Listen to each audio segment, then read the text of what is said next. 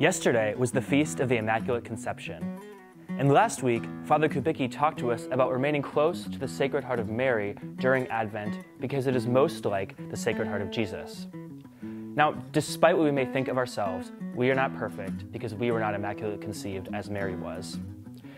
It may be difficult for us to see Mary as a model because she had a supernatural divine grace that allowed her to be conceived without sin. Attaining obedience and holiness, as Mary had, is a constant and lifelong effort that we are constantly improving at with God's grace. We were not conceived immaculately, but we can conceive how immaculate it is to have Mary as an example of holiness.